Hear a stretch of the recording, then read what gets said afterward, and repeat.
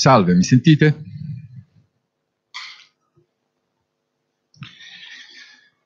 La bellezza non ha causa, esiste. Inseguila e sparisce, non inseguirla e rimane. Sai afferrare le crespe del prato quando il vento vi avvolge le sue dita. Il Dio provvederà perché non ti riesca. Le poesie di Emily Dickinson ci sono pervenute, ordinate e numerate da lei stessa in ben 1775 frammenti e sono state pubblicate soltanto dopo la sua morte. Questa poesia che vi ho appena letto per introdurla rappresenta bene il suo, uni- bene il suo universo, perché rappresenta la minuziosa e rispettosa osservazione del mondo, questo senso del sacro, del tutto naturale, che ha veramente molto poco di eh, o nulla di metafisico e di trascendentale. Il soprannaturale è soltanto il naturale rivelato.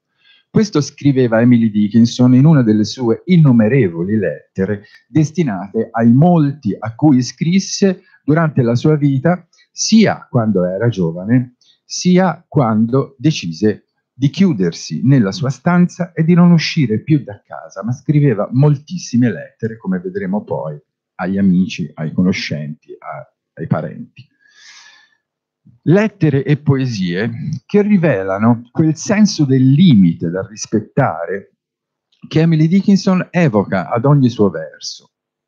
È un concetto quello che lei richiama, greco, a conferma, come dicevamo anche la volta scorsa, del legame mitico che attraversa le epoche e che riguarda quella ibris, quella tracotanza, quella superbia, quell'arbitrario superamento del limite di cui abbiamo appunto già parlato, che era punito severamente dagli dei nell'antica Grecia. E una delle divinità più determinate nel punire questo peccato di, di superbia, di tracotanza, era Artemide, che alcuni definirono la più crudele degli dei, quasi un sicario che scoccava le sue frecce, i suoi dardi, contro la superbia dei mortali come abbiamo già visto, mettendo insomma, questa dea eh, come eh, protettrice di tutte e quattro le scrittrici di cui stiamo parlando, di cui parleremo, il dominio di Artemide era soprattutto la natura. E la natura è una delle maiuscole più presenti nella poesia di Emily Dickinson. Questa vestale bianca a guardia del mondo dalla sua stanza che a un certo punto della sua vita appunto si chiuse, si chiuse in casa, si chiuse in questa stanza e ne usciva solamente per passeggiare ogni tanto nel giardino, nel giardino da sola, nel, nel giardino della sua casa di Amherst, nel Massachusetts, negli Stati Uniti, dove lei era nata il 10 dicembre del 1830, quando dall'altra parte del mondo, nell'Inghilterra rurale, l'altra Emily, la Bronte, aveva soltanto aveva 12 anni. Se vi ricordate la volta scorsa, quando abbiamo parlato di Emily Bronte, abbiamo letto, abbiamo letto una frase di Silvio Raffo che nell'introdurre un volume di poesie di Emily Bronte paragonava le due Emily e, e usava come termine fierezza da Amazzone e anche autonomia, questa autonomia, questa fierezza d'Amazzone che le unisce tutte e due. In altre parole, si può dire la folgorante autonomia di un sole. E questa è una frase che usa Marisa Bulgeroni, che è la curatrice del Meridiano Mondadori dedicato a Emily Dickinson. Questa frase la usa per descrivere la sua opera poetica, che è un'opera di cui ogni lettore e ogni critico che ci si avvicina ancora oggi deve cercare quel codice che gli permetta di individuarne l'origine di questa opera poetica. E se lo trova, questo codice, un lettore che si avvicina alla Dickinson, ancora oggi si stupisce. E vedremo perché. Emily Dickinson sapeva che la sua poetica era diversissima da quella che andava per la maggiore nell'America dell'Ottocento e inventò uno stile tutto suo, uno stile da preveggente, e lo fece, influenzando peraltro tutta la poesia dei secoli a venire. e lo fece chiusa nella sua stanza dove ordinò minuziosamente i suoi versi perché era certa della sua futura immortalità. Quindi furono alla sua camera e anche il giardino di quella casa di Amherst dove ogni tanto usciva, quella stanza tutta per sé che poi la Wolf, dopo, evocò in un volume che si intitola nello stesso modo quando la, la, la Virginia Woolf diceva una donna per essere scrittrice deve avere una stanza tutta per sé e una piccola rendita. La Dickinson ebbe la stanza tutta per sé e ci si chiuse dentro, ne fece una fortezza. E ebbe anche la sua piccola rendita perché viveva nella casa del padre per tutta la vita e del resto, data la sua scelta claustrale, probabilmente non aveva neanche bisogno di molto rimbomba, ok. Allora, i fascicoli di poesie che rilegò in quella stanza furono il luminoso segreto della vita di Emily. Furono un tesoro che sbalordì la sorella Lavinia quando, dopo la morte della poetessa, entrò nella stanza di Emily e in un baule trovò tutta questa mole di versi. Gli amici e i familiari sapevano che Emily Dickinson scriveva poesia, ma non si immaginavano che avrebbero trovato una quantità così vasta di poesie, di versi. Noi in Italia abbiamo dovuto aspettare parecchio prima che i versi di Emily Dickinson arrivassero fin qui e mh, anche per lei, come per l'altra Emily, la Bronte, fu il Novecento a renderle giustizia, fu il Novecento a consacrarne l'immortalità. E c'è una storia che si racconta a questo proposito. Mm, era il 1945, quando un soldato americano conobbe a Firenze una ragazza di nome Margherita. Nella sua sacca, questo soldato americano, magari insieme a armi, a proiettili, non sappiamo, però aveva anche un libro, o forse solo delle pagine, e in queste pagine c'erano alcuni versi. L'unica cosa che lui si era portato dall'America. In quel libro risuonavano i versi di Emily Dickinson, che sarebbe diventata uno dei poeti più grandi di ogni tempo, ma che allora era ancora sconosciuta in Italia. Il soldato aveva prestato talmente ascolto a questi versi che volle farne dono alla ragazza, a Margherita, e anche Margherita sentì cantare. Ascoltò quel canto, ascoltò questi versi tra le rovine di una guerra e si racconta, fu quella la prima volta che Emily Dickinson arrivò in Italia. Margherita era Margherita Guidacci, che divenne a sua volta poetessa e ancora oggi la traduzione, la sua traduzione delle poesie di Emily Dickinson, uscita prima per Garzanti, in un'edizione che io ho per chi se ne ritengo come l'oro, e poi, però, molto bella anche questa, in due volumi, insieme alle lettere della Dickinson, sempre tutto curato da Margherita Guidacci, edito da Bompiani. La traduzione di Margherita Guidacci delle poesie della Dickinson è un classico e, a parer mio, è ancora la migliore per chiunque voglia avvicinarsi per la prima volta a Emily Dickinson e leggere i suoi versi. Allora, la storia che vi ho appena raccontato non è detto che sia del tutto vera, non è neanche detto che sia vera, però è bella, anche perché rappresenta esattamente Emily Dickinson e la sua dichiarazione di vita anche in mezzo alla guerra e alla morte. Emily Dickinson non visse sempre chiusa nella sua stanza, anzi, da giovane la ragazza era piuttosto scavezzacollo come raccontano le sue biografie, tra cui questa, che è molto bella, scritta da Barbara Lanati, si intitola Vita di Emily Dickinson, l'alfabeto dell'estasi, ed è edita da Feltrinelli. Eppure di lei, della Dickinson, è stato detto spesso, è stato fatto spesso un ritratto fuorviante, è stato detto di tutto, quello di una specie di monaca laica, impaurita dal contatto fisico e dal sesso, quella di una donna nevrotica e malata di mente, di una donna dal cuore spezzato da un uomo o da uomini più vecchi di lei, o, o, anche di una donna innamorata non corrisposta della cognata che fu sua grande amica e così via. Ma lo vedremo più tardi, come mai sono uscite, tu, dove, perché e come sono uscite tutte queste teorie, tutte queste voci sulla Dickinson. Tenendo presente che su una donna escono più facilmente tutte queste voci che su, che su, un uomo, perché ci sono scrittori come Dostoevsky, come tanti altri, che magari nella vita non erano personcine proprio meravigliose, però poi nessuno, tutti se ne fregano, nessuno dice nulla. Quando invece una donna fa le scelte più strane, ah, si va a ricercare le cose più assurde, come vedremo tra poco.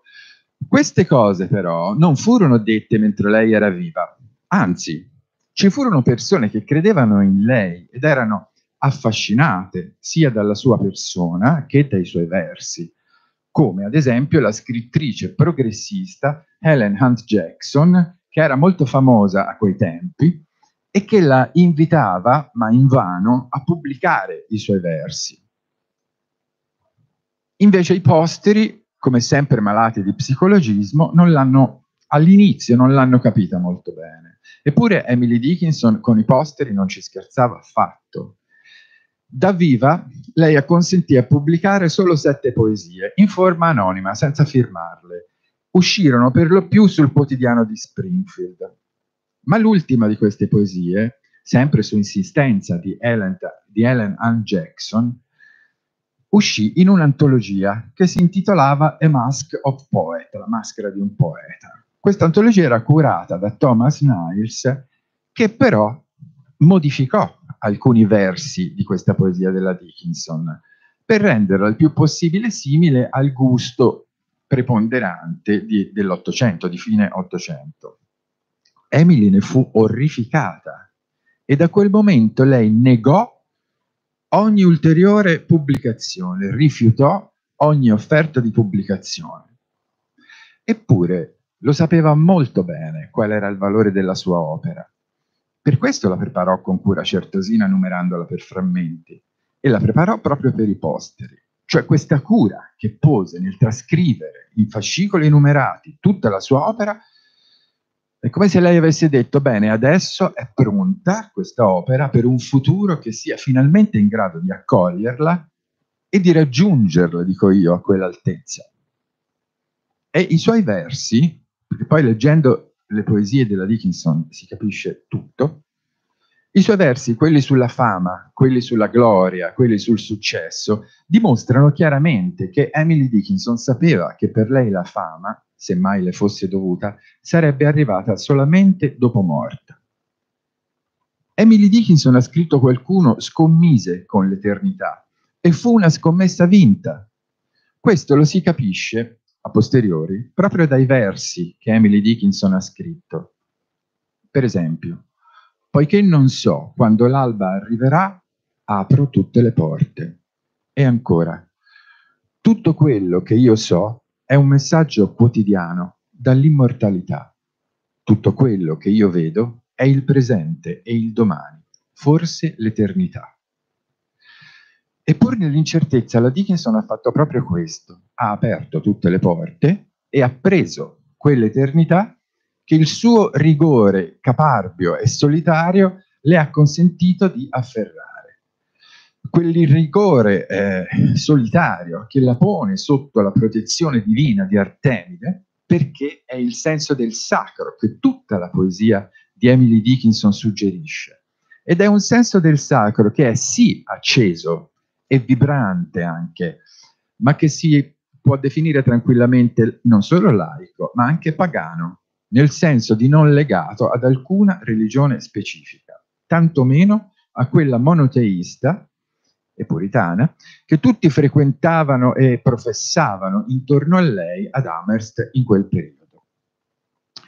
La Dickinson, come scrive Bianca Tarozzi nella prefazione a una delle tantissime raccolte delle sue poesie, questa si intitola La bambina cattiva, fu certamente una ribelle anticalvinista, contraria a una, a una, dottrina come quella che intorno a lei andava per la maggiore, a cui, a cui tutti si stavano convertendo, che riservava la, la salvezza a pochi eletti. E in lei sono frequenti le affermazioni antidogmatiche. Ad esempio, lei scrisse chiaramente, non ho rispetto per le dottrine, ma soprattutto osservate i gigli dei campi. È l'unico comandamento a cui abbia mai obbedito. La natura, che il tradizionale dualismo bigotto vedeva dell'epoca, vedeva come minaccia, vedeva come nemica, e che invece il secolarismo finto progressista di oggi, moderno, contemporaneo, vede come risorsa da sfruttare, per Emily era qualcosa da contemplare con una devozione sacrale, come una divinità greca. Quindi l'unica dottrina che Emily Dickinson conobbe e la fece tutta sua fu la fede nella parola come strumento di osservazione e di comprensione del cosmo. E poi il suo segno della croce lei lo scrisse chiaro, nel nome dell'ape, della farfalla e della brezza. Amen. Emily iniziò a trascrivere i suoi fascicoli, in fascicoli le sue poesie nel 1858. Prima a differenza di quel ritratto che lo psicologismo posteriore ha fatto di lei, fu una ragazza curiosa del mondo che la circondava. Fu una ragazza vivace, eh, con un umorismo tutto suo, una ragazza che andava a scuola, anche se non con frequenza regolare, che eh, si esercitava al pianoforte, che curava il giardino e che scriveva lettere alle sue amiche.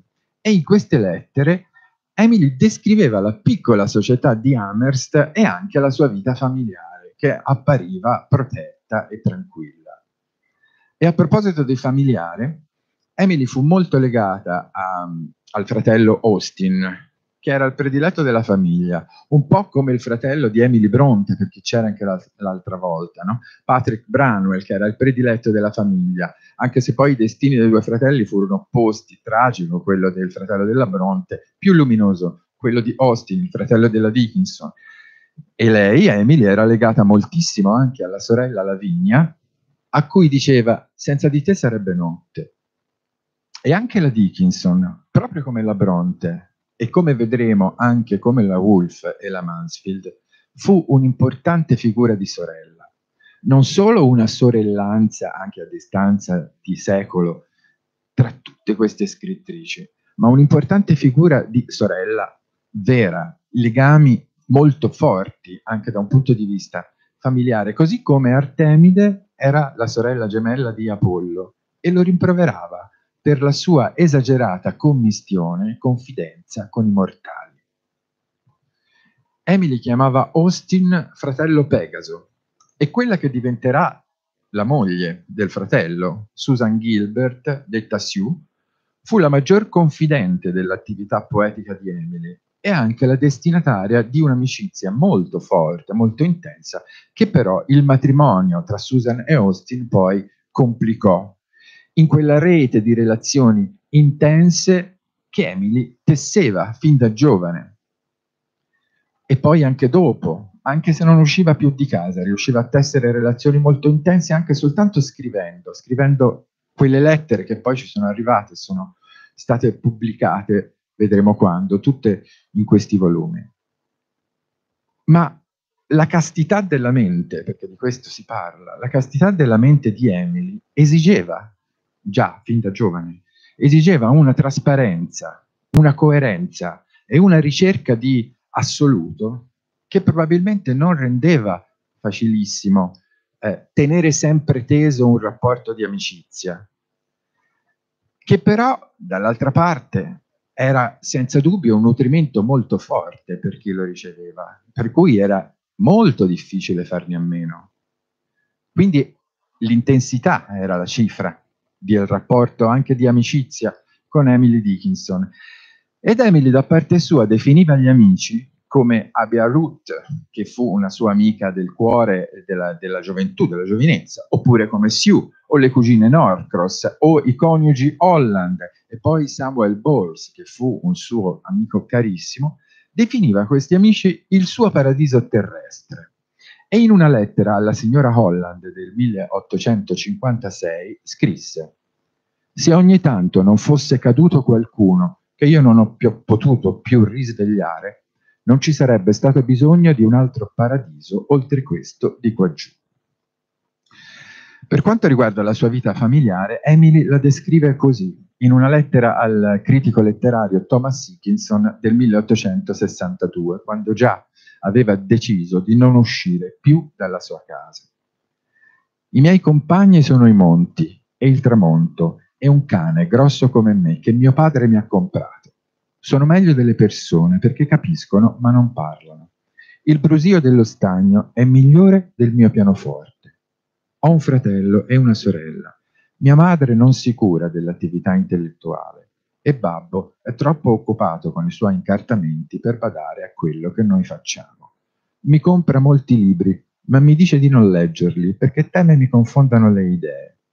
In casa sono tutti religiosi, fuorché me. C'è un parallelo fra il padre di Emily Bronte e quello di Emily Dickinson, se vi ricordate, il, sono tutti e due uomini colti, eh, di un certo peso, ma il padre di Emily Bronte leggeva i libri ai figli, li leggeva insieme a loro, discutevano di storia, di filosofia, di letteratura, li trattava quasi come su suoi pari, se vi ricordate. Invece il padre di Emily Dickinson le regalava dei libri, ma le diceva di non leggerli perché se no le avrebbero confuso la mente. Era un altro ambiente, da quello rurale dell'Inghilterra a quello puritano dell'America di fine Ottocento. Ma Emily, figuriamoci, li leggeva tutti quei libri e lesse moltissimo, fin da giovane. E fu anche una ragazza che fin da giovane viaggiò fuori dalla sua eh, città, Viaggiò a Boston, fu a Springfield, a Washington, a Filadelfia. Frequentò il collegio di South Atley, dal quale ogni tanto scappava con le amiche, e ci restò solamente un anno perché aveva nostalgia di casa. Quindi in qualche modo fu una ragazza ribelle. Però già si intravedevano alcuni tratti che poi svilupperà da donna e da poetessa, come per esempio un temperamento dalla forte spiritualità, il piacere della solitudine, eh, gli interrogativi sull'eternità, sull'eterno, ma anche la difficoltà a conformarsi ai canoni della società a cui apparteneva, che era quella puritana del New England. E questo fatto, come spesso accade alle menti più autonome, alle menti più caste, la allontanò dalle sue amiche, dalle sue amicizie, perché loro si convertivano alla Chiesa puritana, questa Chiesa che divideva il mondo in salvati e dannati. Questo Emily non lo poteva accettare, non lo accettò mai e quindi non resistette a ogni tentativo di convincerla ad abbracciare questa fede come facevano tutte le sue amiche che piano piano si allontanarono da lei. Ma lei, alla sua amica Abia Ruth, la sua amica del cuore, e anche lei convertita al puritanesimo, lei scrisse ad Abia Ruth, la costa è più sicura, ma io amo lottare col mare. E con una frase disse tutto. Ma durante questo periodo, eh, quindi prima di scegliere di isolarsi, la Dickinson conobbe anche e frequentò i suoi primi mentori, come Ben Newton, che la spinsero a coltivare i suoi interessi letterari e l'amore per la poesia. E poi conobbe anche i suoi primi amori come il, uno dei quali, il reverendo Wadsworth, che conobbe a Filadelfia nel 1855, fu destinatario di molte sue lettere e comunque, le, anche se poi se ne andò, insomma, le rimase sempre nel cuore, anche quando si chiuse in una stanza. Ci fu anche un amore più tardo, che fu quello per il giudice Lord, un uomo che aveva gli anni di suo padre. E a quel tempo Emily era già mh, isolata nella sua stanza, ma perfino con il giudice Lord fu accarezzata l'idea di, di un matrimonio, poi estremamente complicato e scomparso all'orizzonte subito, quasi subito, come un sole al tramonto. Quindi la vita di Emily, anche prima di eh, eh scegliere di chiudersi in casa, era questa. Era una, una vita piena di cose, ma era piena anche fin da giovane per tutto il suo corso, anche di lutti, di lutti importanti e improvvisi. Da giovane perse la sua amica Sofia Holland e questo fu il primo incontro di Emily con la morte, a cui ne seguirono molti altri.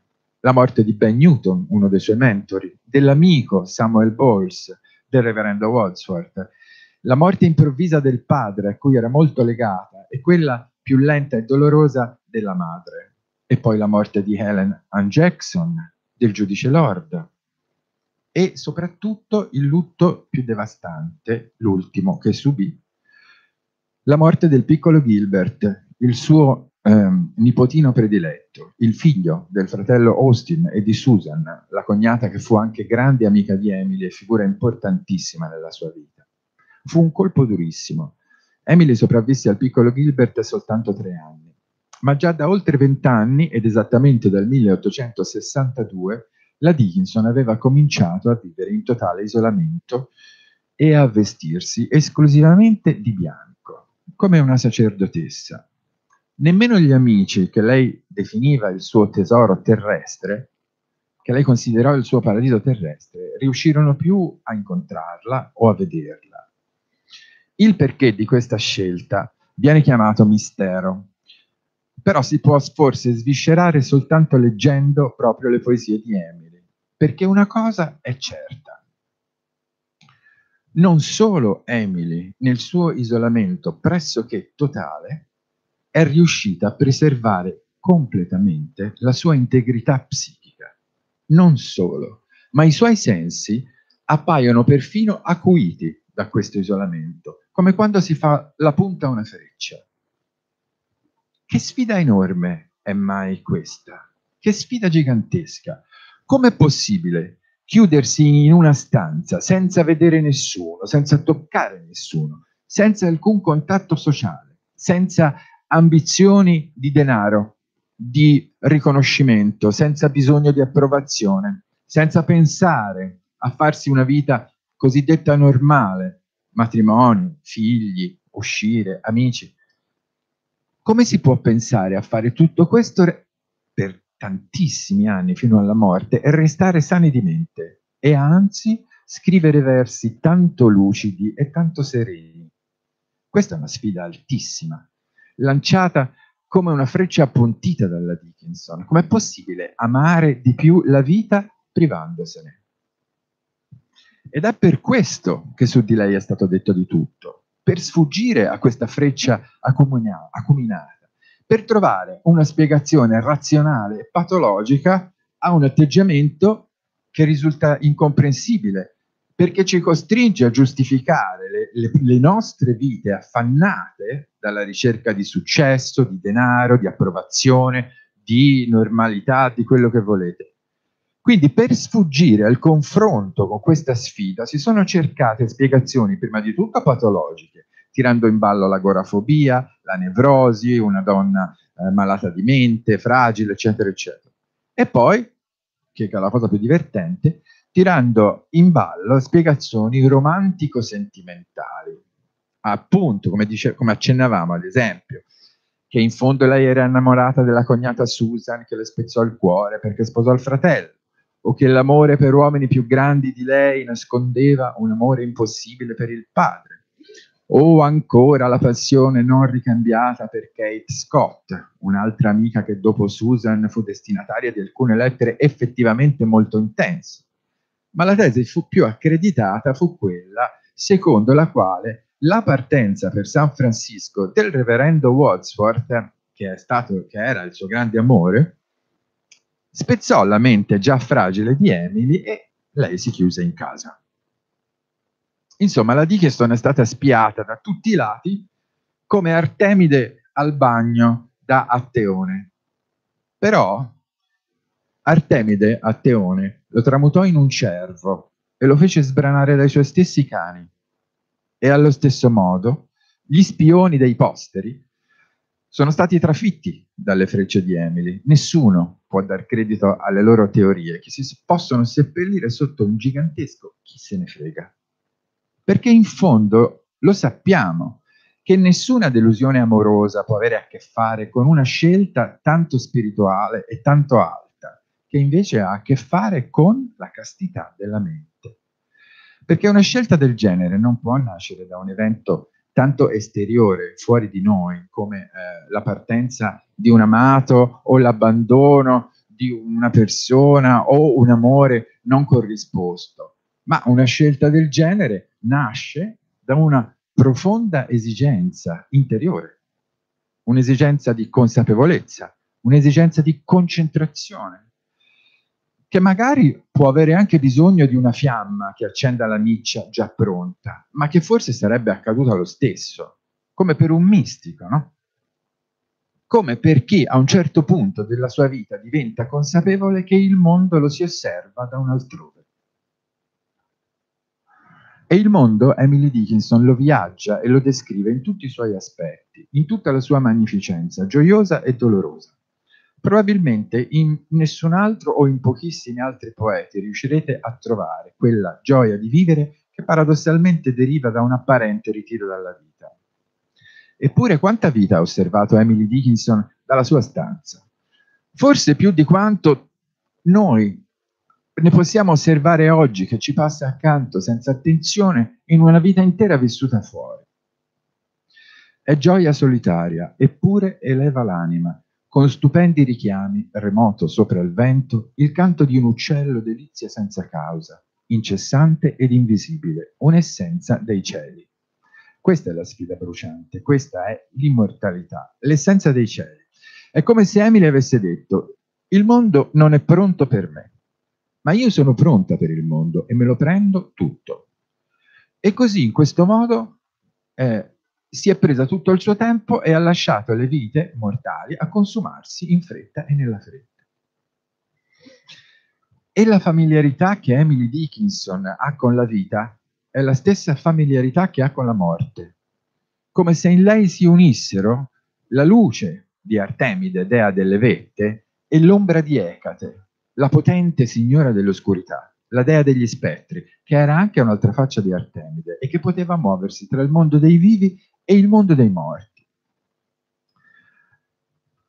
Ora, in Emily Dickinson si uniscono l'arco saettante e la squadra rigorosa, l'angoscia per la morte, per la perdita degli affetti più cari e il grande slancio eh, di vita per le sorprese che il mondo riserva.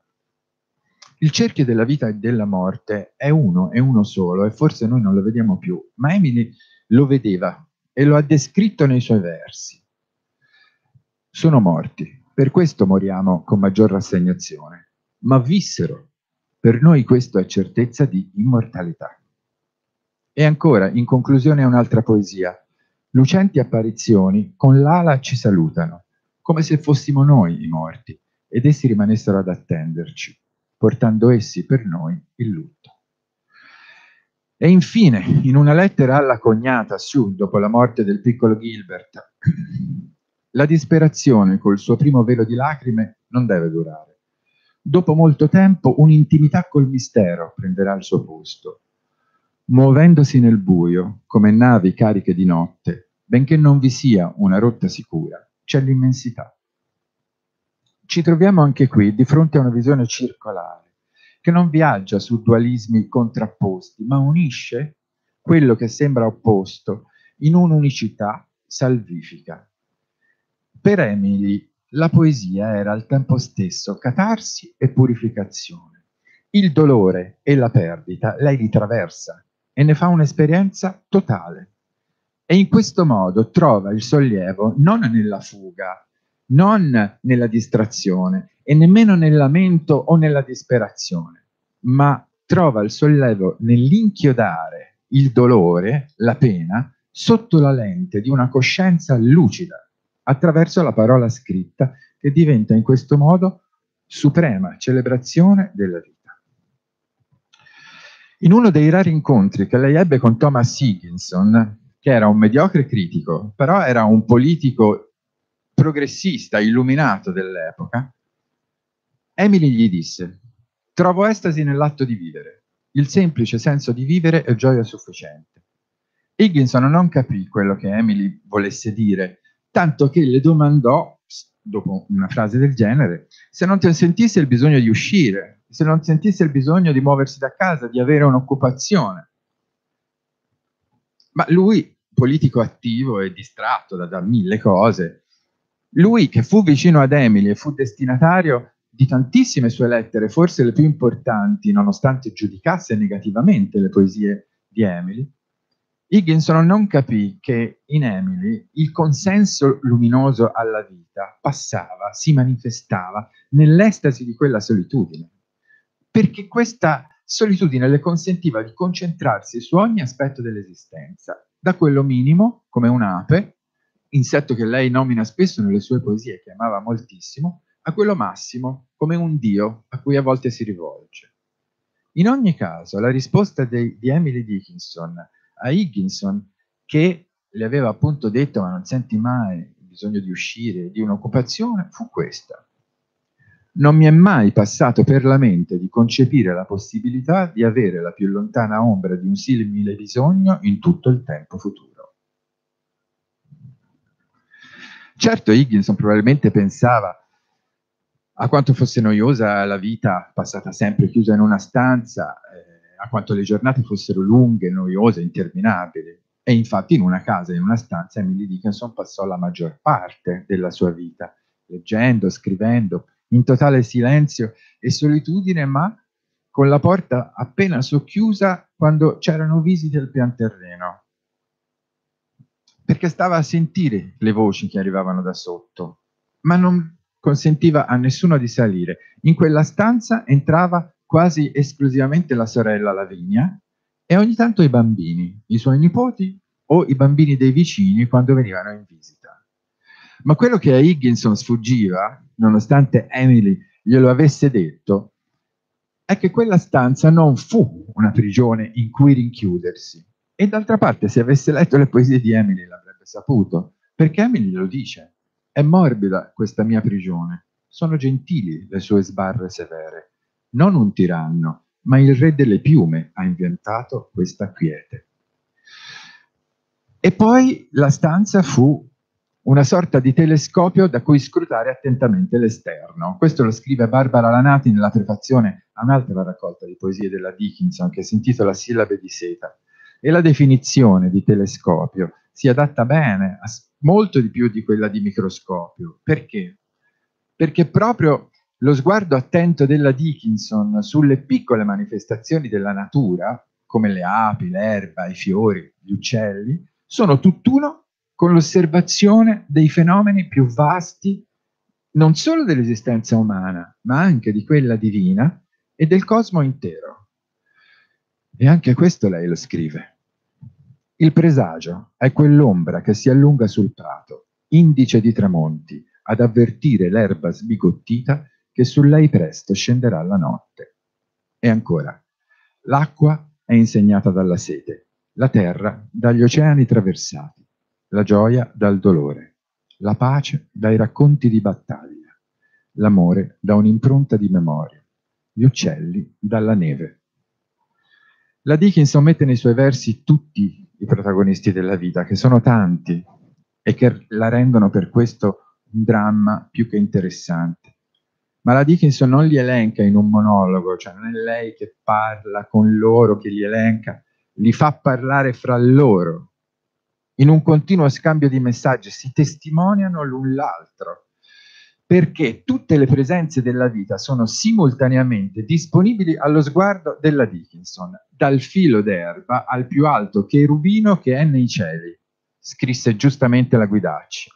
E considerando che ogni sostantivo, che sia l'erba, l'ombra, la pace, l'amore, eccetera, Emily li scrive con la maiuscola, è chiaro che in lei il microcosmo e il macrocosmo sono uniti, non si differenziano, ma fanno parte di un unico disegno che è divino, umano e animale al tempo stesso. In una parola, è un unico naturale discorso mitico. E così la figura di Emily torna ad accostarsi a quella di Artemide, che eh, fin da piccola eh, sulle ginocchia de del padre Zeus elencò i suoi desideri. Rimanere vergine per sempre, avere molti nomi, possedere un arco e delle frecce, portare la torcia e un chitone frangiato fino al ginocchio e disporre di tutte le montagne, delle città ne poteva fare anche a meno. Ed Emily Dickinson fu chiamata la Vergine di Amherst, i suoi molti nomi furono le poesie, con tutte le maiuscole che usava per i sostantivi, il suo arco e le sue frecce furono i fogli e le penne con cui scriveva e catalogava tutta la sua opera, la torcia fu la lampada che le serviva per scrivere e il chitone i suoi vestiti bianchi, mentre dal suo scrittoio osservava il mondo come dall'alto di una montagna. Era un poeta. Ecco chi fu un poeta, chi distilla la sorpresa di un senso da significati ordinari ed estrae essenza infinita da specie familiari. In fondo è questo il sapere che ha le sue radici peraltro nel mito, perché il mito proprio questo fa, rivela un senso altissimo a partire dalle cose più semplici. Ed e questo fanno anche i poeti. E non è un caso che la poesia sia stata la prima forma letteraria espressa dal mito, che il mito ha prodotto. Per Emily questo sapere mitico è l'unico che si avvicina il più possibile al vero. Per lei altro non è dato. E quindi la sua stanza diventa quella fortezza osservatorio da cui guardare e comprendere il mondo per restituircelo nella sua essenza infinita attraverso le specie più familiari. Come dice ancora la Guidacci, i caposaldi poetici della Dickinson sono infinita vastità e riverente contemplazione. Per Emily la natura, l'amore, la bellezza in tutte le sue forme anche la contemplazione della morte, che lei chiamava la bianca impresa, sono tutte aperture verso l'immortalità, che la Dickinson pensò in un modo filosofico, per nulla trascendente. Per la Dickinson l'eternità era come una pianta che cresce dal seme, era come l'adulto che cresce dal bambino. Nello stesso modo l'immortale cresce dal mortale come se il mare stesso al mare fosse riva. Scrive in una delle sue poesie. Anche dal punto di vista formale Emily Dickinson fu una rivoluzionaria. Nelle sue poesie forma e contenuto hanno una corrispondenza perfetta. A lei non importava molto della poesia che l'aveva preceduto e per nulla di quella a lei contemporanea. Le soluzioni stilistiche sue erano senza precedenti lei liberava la rima, ma nello stesso tempo la teneva al guinzaglio. Quindi fu un'innovatrice. Alessandra Cenni, in un libro che si intitola Cercando Emily Dickinson, parla proprio di un'autentica rivoluzione del linguaggio, un linguaggio che ridà vitalità al discorso e che quindi lo rende più aderente alla verità. E si chiede, quanto devono alla Dickinson poeti come Ungaretti e come Montale? Parecchio. Tanto che Montale è stato anche uno dei traduttori di Emily Dickinson. Perché Emily va sempre al centro, senza dispersioni, senza ornamenti di troppo. E le sue parole sono state definite concatenazioni di fatti dell'anima. E a proposito di parole, Emily Dickinson a un suo amico scrive a un suo amico degli anni dell'adolescenza che si chiama Joseph. Ti ricordi l'idea che avevamo delle parole? Cosuccia da poco, senza energia. Ora non conosco nulla al mondo che abbia tanto potere. Ne esistono alcune di fronte alle quali mi inchino, stanno lì come un principe tra i lord. A volte ne scrivo una e la guardo, ne fisso la forma, i contorni, fino a quando comincia a splendere, e non c'è zaffiro al mondo che possa eguagliarne la luce. Ci sarebbe molto da riflettere su quanti tentativi di depotenziare la parola siano stati fatti nel corso dei secoli, fino ad arrivare a quelli di oggi, a quelli contemporanei, che forse rischiano anche di avere più esito che nel passato, complice una rivoluzione tecnologica che non è mai stata tanto veloce. E invece le parole, le parole scritte in particolare, sono armi bianche, sono frecce appuntite, sono armi accecanti, anche pericolose e quindi devono essere decantate, pensate, meditate, lette. E non è il caso che scorrano e spariscano in un attimo su uno schermo lette distrattamente e non ricordate, perché in questo modo le parole diventano trucchi.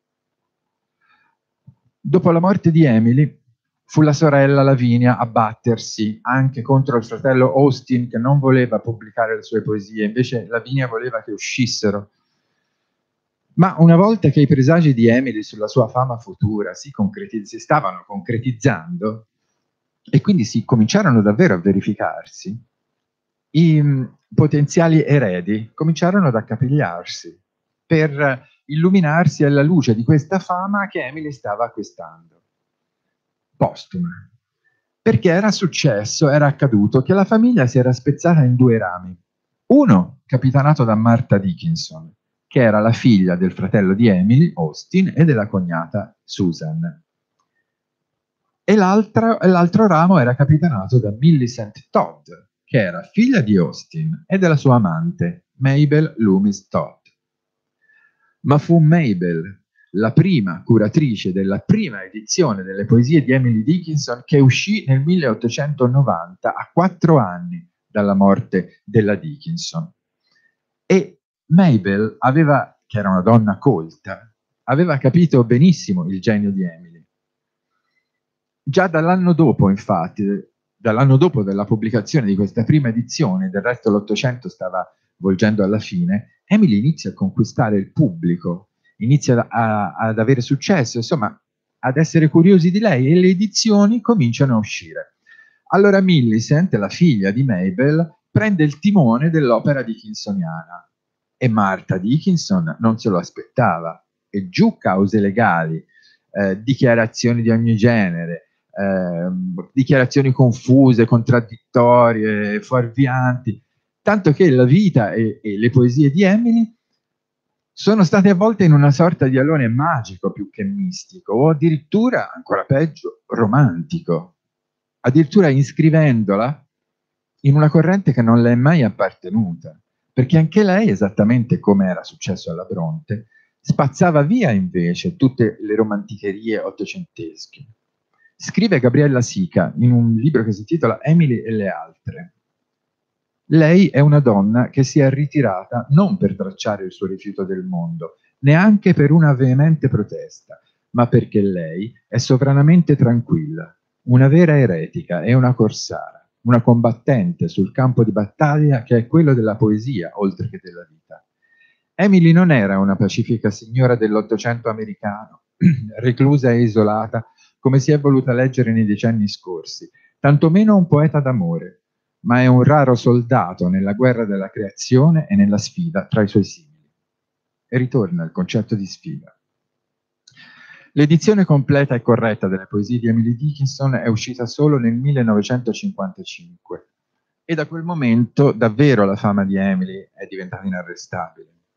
E alla fine a parlare di verità sono le sue lettere e le sue poesie. Anche le lettere sono state pubblicate interamente solo nel 1958 Ogni volta che si leggono lettere eh, e soprattutto le poesie, se ne scoprono nuovi aspetti. È come una sinfonia che muta, come le varianti di un mito, che sono molte, ma sono una e non contraddicono mai la narrazione, anche quando sembra. Il suo amico Joseph, a cui lei aveva scritto delle parole, in una lettera descrive gli occhi di Emily e li descrive così, occhi che non vedono forme ma penetrano all'istante nel cuore delle cose. Questa forse è la descrizione più disinteressata e anche quella che probabilmente rende più giustizia a quello che Emily Dickinson è ed è stata. Una donna libera, una donna coraggiosa. Emily Dickinson, proprio come Emily Bronte, indomita e tenace. È una ribelle, una ribelle al conformismo, al sentimentalismo, al padre che riteneva fantasticherie le sue poesie, alla tradizione patriarcale e maschile, alle regole della poesia che era a lei contemporanea e all'ortodossia religiosa. E infatti scrive in una lettera, non sai che no è la parola più selvaggia che affidiamo al linguaggio? Aveva uno sguardo che supera il reale, forse quella doppia, qualcuno ha detto che aveva quella doppia vista fisica e metafisica di cui parla il Leopardi nello Zibaltone. Però per lei lo sguardo era uno, era uno solo, cioè non era quello che riesce a vedere l'invisibile dietro, ma era quello che vede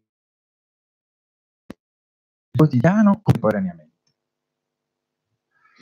Emily morì il 15 maggio 1886 alle 5 del pomeriggio aveva scritto, poiché non potevo fermarmi per la morte, lei gentilmente si fermò per me. Il carro portava solo noi due e l'immortalità.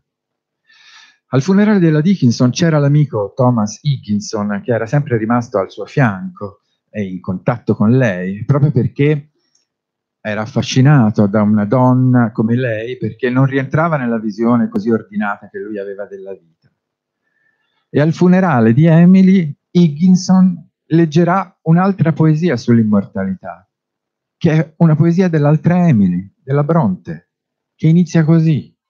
Non è vile la mia anima, non trema nella tempestosa notte del mondo. E così, proprio Higginson, che non aveva mai capito le poesie della Dickinson, unisce nel coraggio di vivere contro vento e nella ferma resistenza a ogni tempesta, unisce le due Emily, le vite delle due Emily. E poi, dopo il funerale, Higginson sul suo diario scrisse La campagna era perfetta, sull'origine, non era la assoluta, cioè la frontisce. E mi sembra bello chiudere con un'altra poesia, l'ultima, l'ultima che la Dickinson ordinò nei suoi fascicoli, la numero 1775. La terra ha molte note, dove non c'è musica, la penisola è sconosciuta. Bellezza è la realtà della natura, ma a guardare la sua terra e a guardare il suo mare, per me il grillo è la somma di tutta la poesia.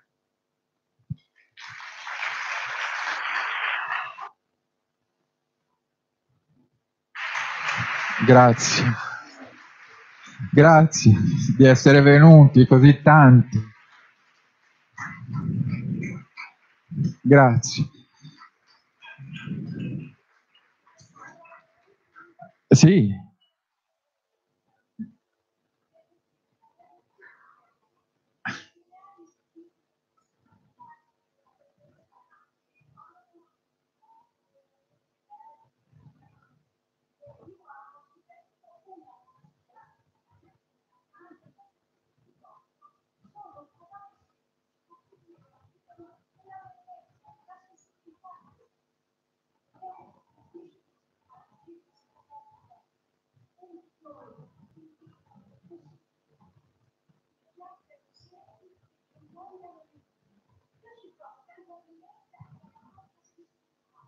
Certo, soprattutto l'attaccamento alla... Sì, grazie. Uh, allora, eh, anch'io la amo molto e spero che si sia sentito perché veramente per me è stato eh, eh, intenso, insomma, parlare di Emily Dickinson. Volevo sapere se a questo punto qualcuno di voi ha qualche domanda o qualche intervento come la signora, qui c'è il nostro Davide con il microfono che ve lo può portare non siate timidi, alzate la mano, eccola là. Eccola. Eh? Beh, sì, se siete tutti d'accordo, posso farlo. Allora. Vabbè, chi, chi deve andare, cioè, voglio dire, può andare.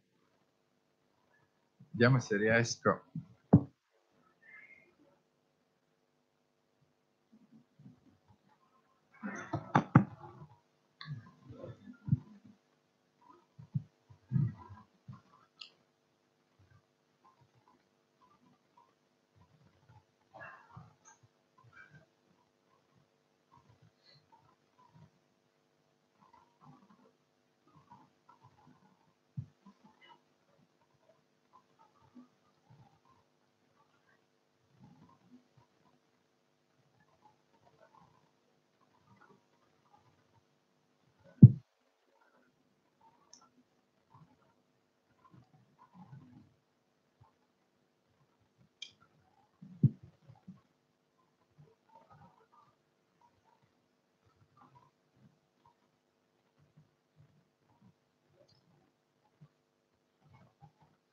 Va bene, leggo questa, che è quella... Le trovo così. Aspetta, ce n'è una che ha sottolineato di più, vediamo lei. Eh. Se la becco. Eccola. Vediamo, vediamo, vediamo. Chi non trova qua giù il paradiso non lo troverà in cielo. Gli angeli stanno nella casa accanto alla nostra, dovunque ci rechiamo. Oppure, l'ultima, era sbattuto il piccolo veliero che sapevo, sorpreso dalle raffiche, su se stesso girava, brancolava in delirio, nell'attesa dell'alba, e scivolava, con passo ubriaco, ed i suoi piedi bianchi poi sparvero alla vista. Buonanotte, veliero, all'equipaggio e a te. È liscio e azzurro il cuore dell'oceano e non si spezza per te.